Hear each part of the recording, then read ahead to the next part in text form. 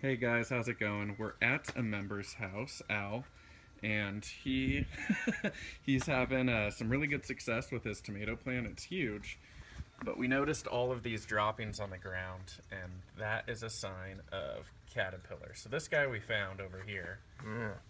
so uh, Look at the size of him. so Al called it uh, an anaconda, which it, it's pretty big. Um, and then so we looked up some more, and then Al found This guy another one. So I'll zoom in. right here. So what you want to do? They're pretty. They look pretty wild, but they they don't bite. They're just kind of. they're just kind of big and gross. I'm not gonna touch him. So uh, usually what you do is pick them off and throw them in the trash, um, just because they are eating your plants. They are hungry guys. Um, Eat more then- than I do.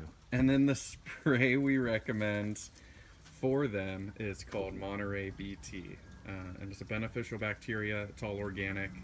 And the caterpillar will, you spray it on the leaves, the caterpillar will eat it, and then it will digest the bacteria. there we go, Al got it. And then uh, the bacteria will actually kill the caterpillar. It's, it's really effective. Um, but the other thing that's super effective is just hunting through because they kind of camouflage themselves sometimes, Oh, did he? and uh, and seeing if you can find them.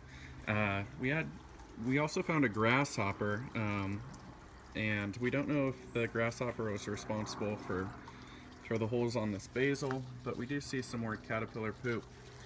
So uh, there might be some smaller ones uh, around here somewhere. So we're gonna hunt a little bit more and see if we can't find them because Al is going on a trip soon and uh, he doesn't want to come back to a garden that's completely munched. So, uh, if you guys have any questions, leave them in the comments. All right, I lied. We're back, and we found another little tomato horn or hornworm, and if you can see the difference in size between them, so they start off this small, and then they eat their way to something that big. So these guys are huge, and they eat a lot.